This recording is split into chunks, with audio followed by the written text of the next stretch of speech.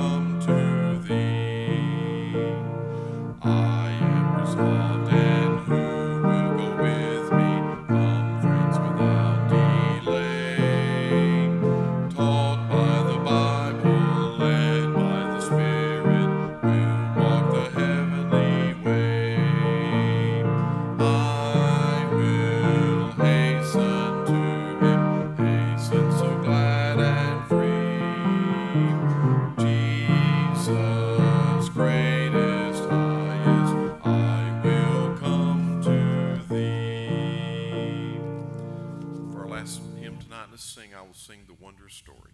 Three verses.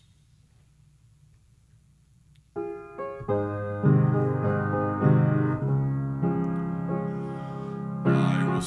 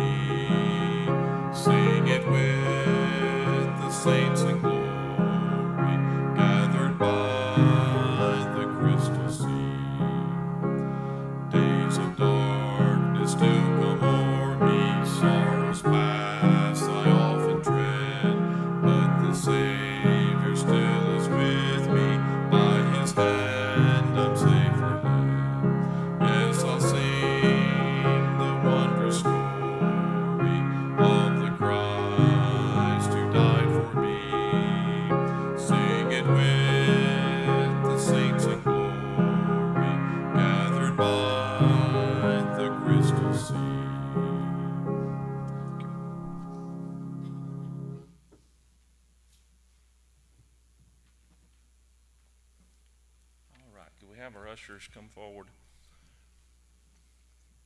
for evening tithes and offerings.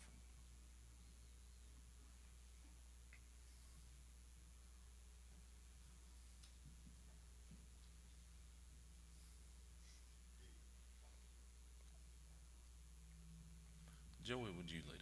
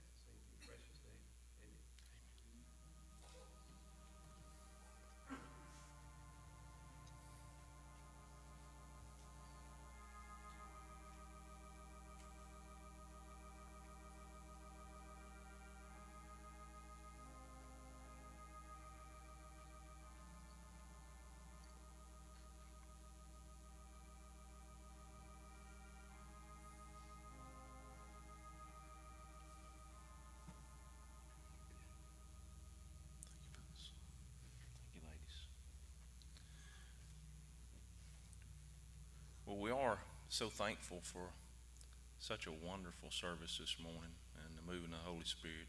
Uh, and I do want to say a special thank you again to all of you and your generosity and your care and kindness. Uh, uh, from our, uh, so you know, from this uh, pancake breakfast, we were uh, able to raise thirteen hundred fifty-six dollars, I think is what that was.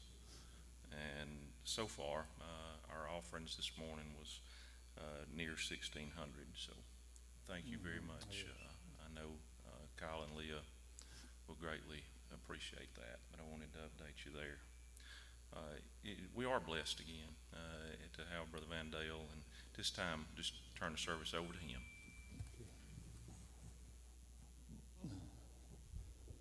Thank you, brother. I was checking my microphone. Our sound man said when it was on red, it was on mute, and when it was on green, I was ready to go. The problem is I'm colorblind. I can't tell between red and green, but it sounds like I'm on. I'm okay, brethren. It's good to have some new little folks with us tonight for the first time in church. Am I right? Oh, they were here this morning. Came easing in this morning right there. I thought I remember somebody being here.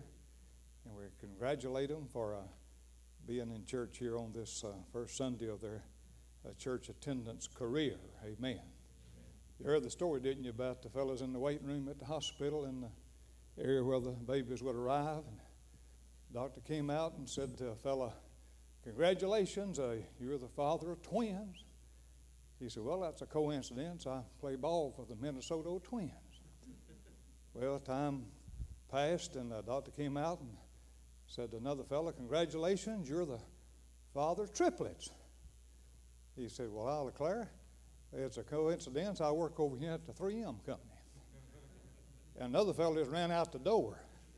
He said, I work for the 7 Up company. so he's getting on out of there before the news reached him already. All right, let me give you just a devotional message this evening from the book of Psalms. Uh, turn with me to Psalm uh, 36. My wife is not 5'11, uh, she's 4'11. The problem was, uh, normally she sits up there about where Steve and them are sitting, and I depend on her to correct me. Uh, she has all the signals worked out. If I'm on the rabbit trail and I'm out there and taking too many detours, and she knows the right kind of faces to make and hand signals, and I try to get back on track. But she was hid back there this morning. I couldn't hardly see her. But uh, it would be a challenge for her at 4'11 to become 6'2. But it'd also be a challenge if she was 5'11 to suddenly become 6 feet 2 inches if she decided to do that. All right, have you found that passage in uh, the Psalms, uh, Psalm 37? Uh, looking down at verse uh, 23 and 24, all right? Psalm 37, uh, verses 23 and 24, just two verses. It says, The steps of a good man are ordered by the Lord, and he delighteth in his way. Though he fall, he shall not be utterly cast down. Now, in the old days, I'd try to go right on just as strong. I'd out preach any young'un that they brought in. Amen. but uh, uh, anyhow, it's good to be here. And uh, let's read the verse uh, again. Let's see. The steps of a good man, verse 23, are ordered by the Lord, and he delighteth in his way. Though he fall, he shall not be utterly cast down, for the Lord upholdeth him with his hand. Now, my sermon is this uh, watch your step. Uh, watch your step. Now, the psalmist said, uh, The steps of a good man are ordered by the Lord, and he delighteth in his way. When I was uh, pastoring at Pierce Chapel, and I got into the habit of uh, uh, looking up word definitions all the time. So folks would sort of expect and Brother Van got up to give his sermon. Most of the time, I try to define a word or two, and not just for their benefit, but for my benefit as well. And it's an interesting uh, research, of course. Uh, the definition of the word step as a noun is threefold. It is the act of moving and placing the foot forward, backward, sideways, up, or down, as in walking, dancing, or climbing, according to the dictionary. And secondly, by definition, uh, a step is the distance covered by such a movement. And thirdly, it can be defined simply as a short distance. Thus, having considered the definition of a step, we declare that life consists of multiple steps some forward, some backward, some from side to side, some up, and some down. And as we often say, when we take two steps forward, at many times it is necessary to take one step backward. These many steps uh, one takes throughout his or her lifetime will someday end with that final step, that last step from the realm of time into the endless uh, arena of eternity. In considering uh, life's various steps, uh, various illustrations, of course, and usages and instances would immediately come to mind. For example, uh, we try to uh, capture, at least in memory, if not on video or still shot, our children's uh, first step. Uh, just by way of survey, how many of you remember being able to do that? You have on film or in a picture your child's first step. Any of you remember that? Now, that was a test to do that because uh, you never know exactly when they're going to take that first tottering step to somehow enact forward unassisted progress. In contrast, we think of the difficulty and challenge of the recovering patient in some form of rehab, trying to manage his renewal of steps as we get older, we look for the signs that say, as my sermon title does, What's your step? Because a failure to do so can result in a serious injury or even death if perhaps we fall. Uh, the house we built over on the home place in Amory has an upstairs. I had originally drawn my study on that piece of graph paper that the builder used to build the house, I had drawn my study downstairs. Now, traveling as I did all those years, being gone so much during construction time, uh, I came home one day and my study was upstairs. Uh, Sandy had um, felt necessary to make that change, and I'm glad she did since then, most of the time. But I watched my step. Because if I slip on that top step and don't stop falling until I've landed at the bottom step, after I regain consciousness or have been resurrected from the dead, I would remind her again that was your choice without consulting me to relegate my study to upstairs. So the stairs become a challenge to us. When astronaut Neil Armstrong stepped off Apollo 11 onto the surface of the moon, he said, and I quote, One small step for a man, one giant leap for mankind, end of quote. Alcoholics Anonymous uh, has a program called what? The 12 step program of recovery designed uh, for somehow the uh, person addicted to alcohol to gain victory over the liquid devil. Widely acclaimed uh, across America today, and I assume perhaps in other languages as well, is Dave Ramsey's uh, program called Seven Baby Steps to Financial Peace. One of the uh, Christian literature's uh, history, as far as the number of volumes sold and the popularity of such a volume, would be the title, In His What? Steps a novel depicting uh, what would happen in a community if everybody simply uh, did as Jesus would do in all the circumstances they might face. And as a result of that, uh, how many millions, with no exaggeration, how many millions of those WWJD bracelets and other kind of paraphernalia were sold based on that same idea? What would Jesus do? I like the old uh, Southern Gospel hymns. One of them says, One of these days I'm going to leave. One of these days I'm going home. I'm going to take my final journey. I'm going to rest beneath heaven's blue dome. and then the chorus says, Stepping on the clouds. We'll see Jesus rise to meet him in the air. Stepping on the clouds, he will greet us. Oh, the joy and together we will share. I'm going higher, higher, higher, stepping on the clouds. And uh, that is uh, something to think about, being able to walk on the clouds.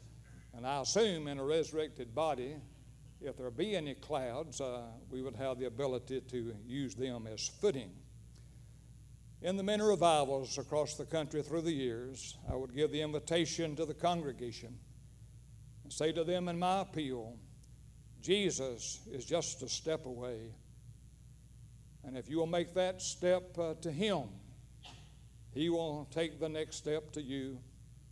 And when the two of you meet, He will so change your life that your life will never be the same again.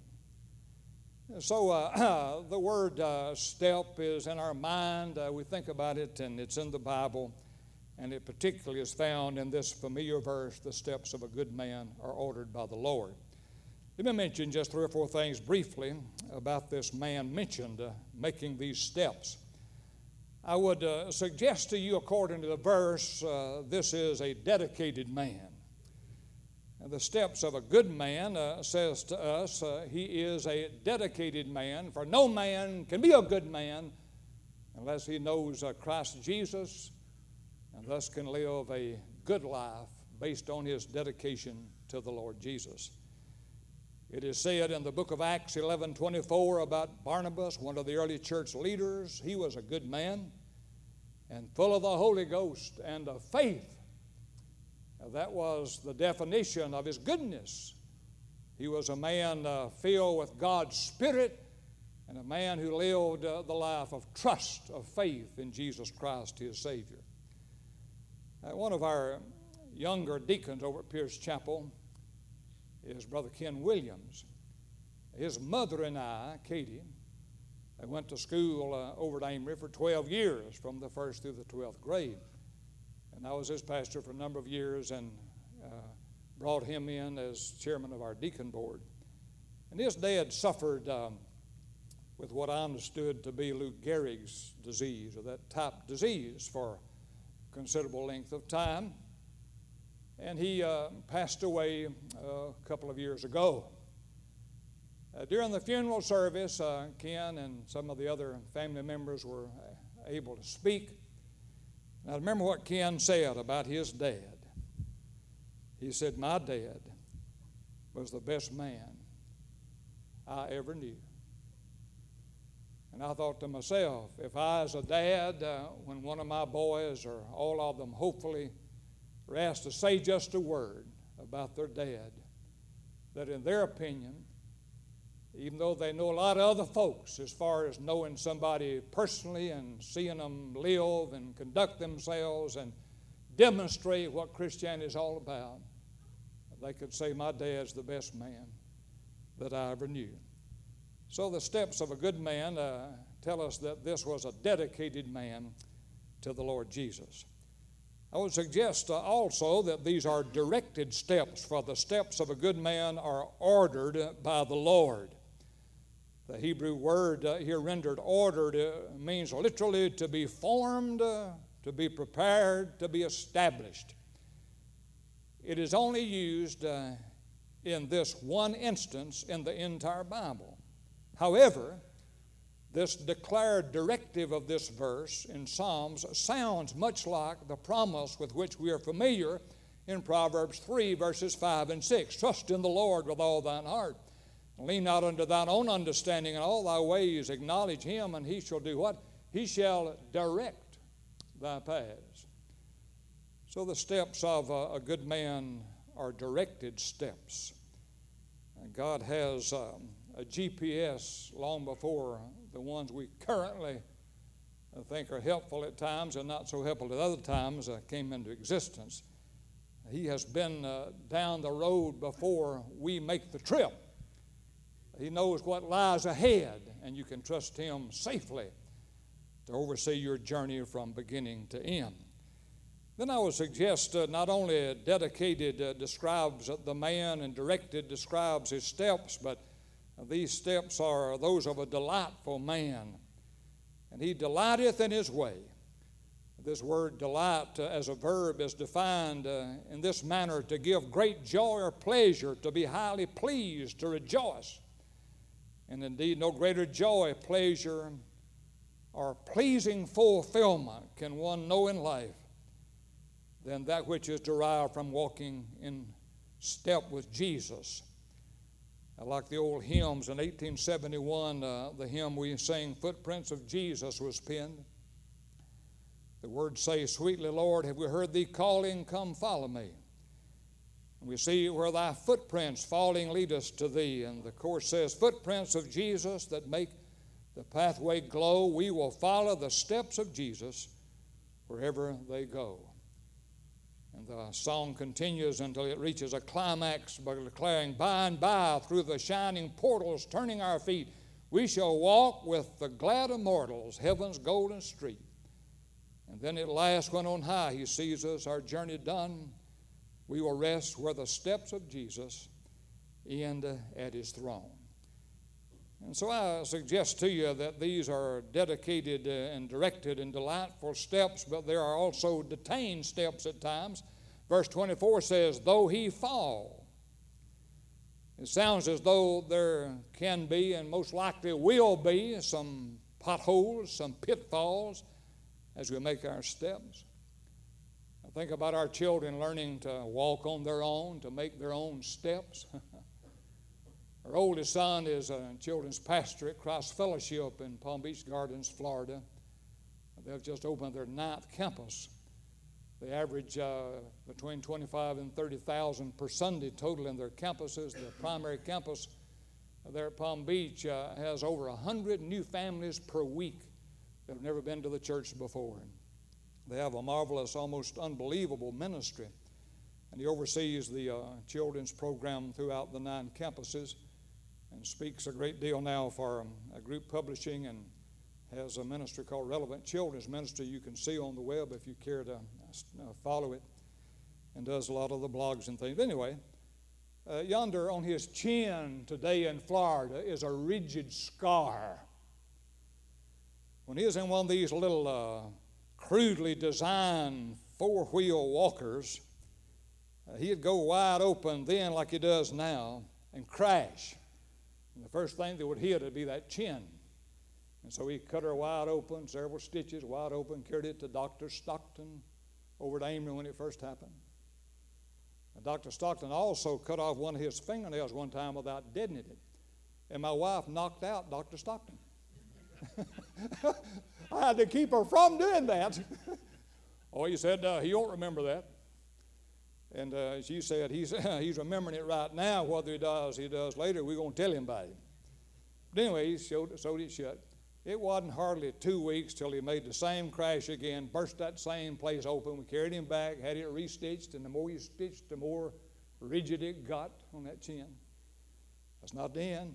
He knocked her open a third time. That time, I did the work. I took some some uh, that uh, all-purpose gray tape, right?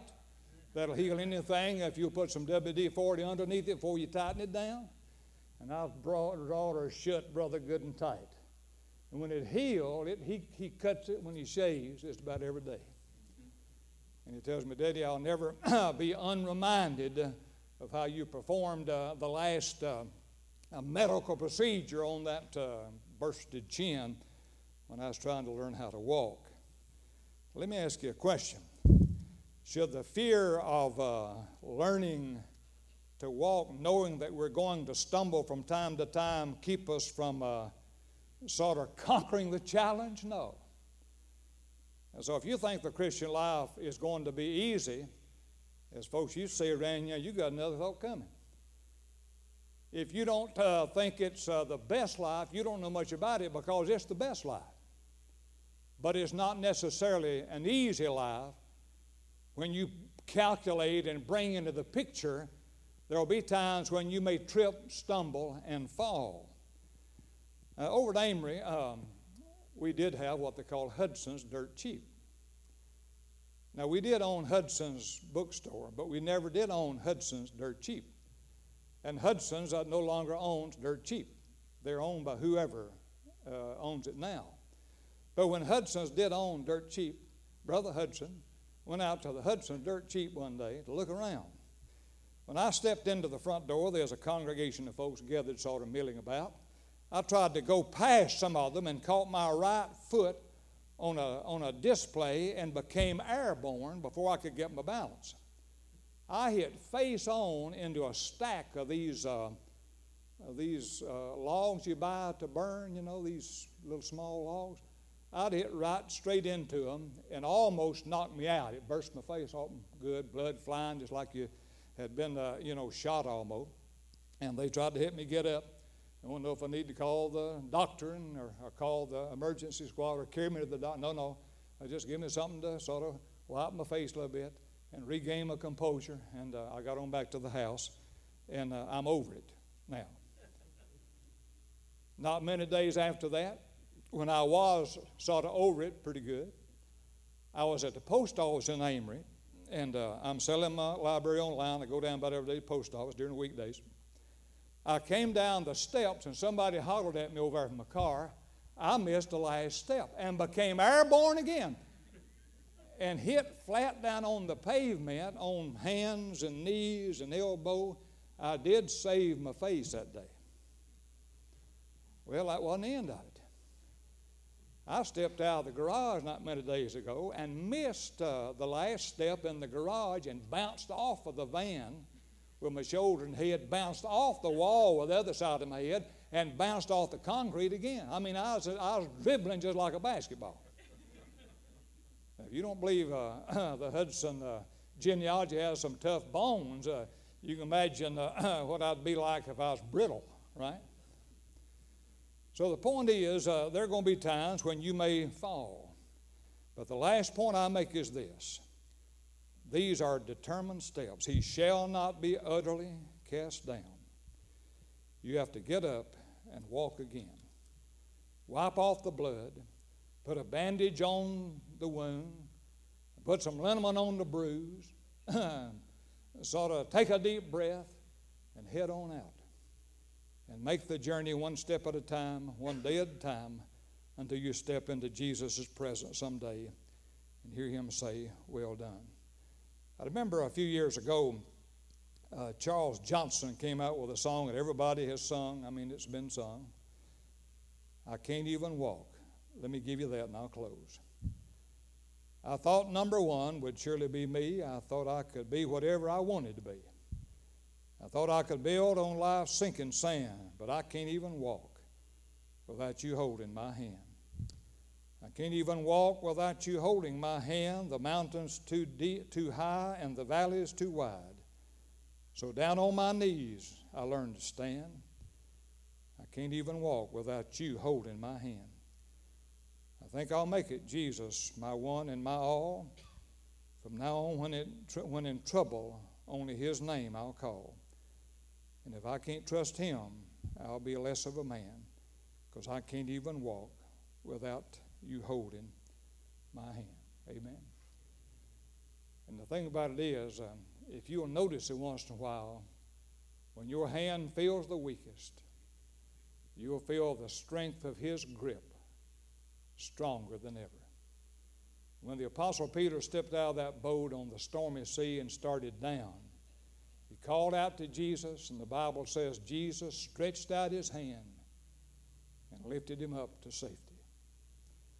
It wasn't the strength of the apostles' weak hand because he is drowning and going under. But he made the call, and the mighty hand of Jesus that made the sea pulled him to safety and carried him to the distant shore. Amen. Well, let's stand together. We will not have any music. Let's just stand together and have prayer for a while. Ask God's blessings on us as we launch uh, this week. and ask God to give us strength and His power to be a witness for Him. Now, dear Lord, we thank you today that life, with its many steps, be they many or fewer in between, need not be made alone. All of us, before we were saved, and knows what it was like then in those lost days to try to feel our way through the dark. But I thank you for the bright light of salvation that came into our darkened souls and lightened us and illuminated the path for us, and then went ahead of us and lead us safely along on the journey. And someday we'll step out of this realm of time into your presence and make that last step here and that first step in that endless journey above. In Jesus' name we pray. Amen. All right, any announcements before we close? God bless you. It's Been a good day. Thank you for your hospitality and continue on